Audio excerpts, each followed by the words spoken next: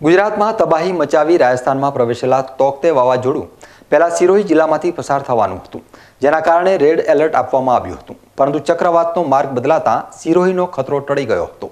માર્ગ બદલવાના કારણે સિરોહી જિલ્લામાં તેની અસર ઓછી જોવા મળી હતી, જોકે તેની અસર માઉન્ટ આબુમાં જોવા મળી હતી.